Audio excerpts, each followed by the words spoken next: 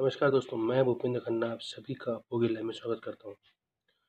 सुबह की शुरुआत हो चुकी है, कल कल रात जो बच्चों के साथ वहाँ हुआ, वो आप देख सकते हैं। कितना ही मुश्किल समय है, जहाँ ये लोग आपके लिए लगातार मेहनत कर रहे हैं।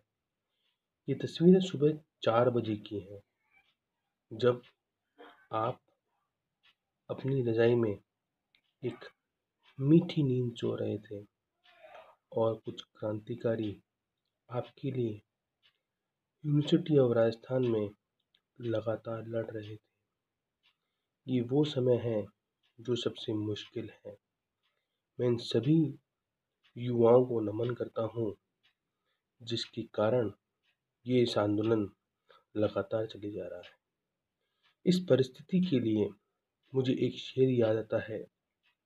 गौर फरमाइएगा, इस सफ़र में नींद ऐसी खो गई है, हम ना सोए, रात थक कर सो गई है। धन्यवाद।